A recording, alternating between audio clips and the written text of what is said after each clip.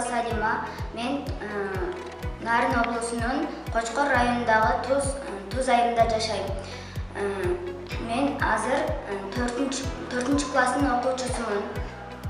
Комузга мен беш жашыман баштап кызыгып баштагам. Ал эми он жашыман баштап кызыгып баштадым. Атай огонбай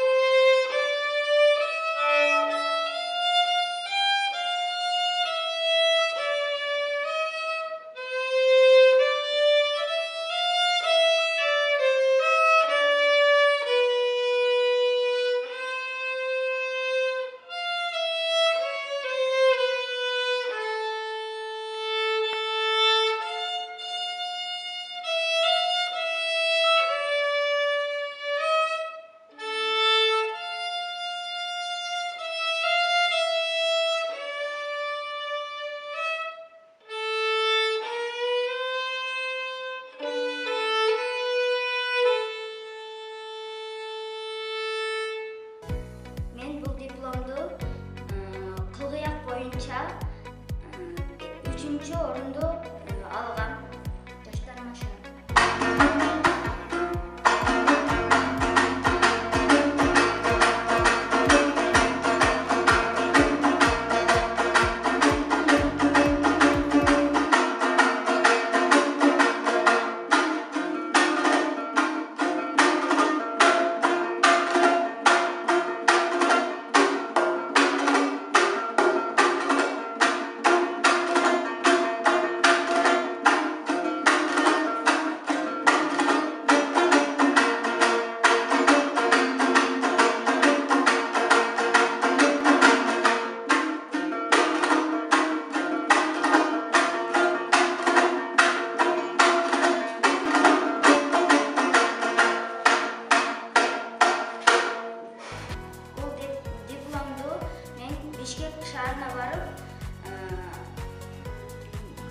Will you tell?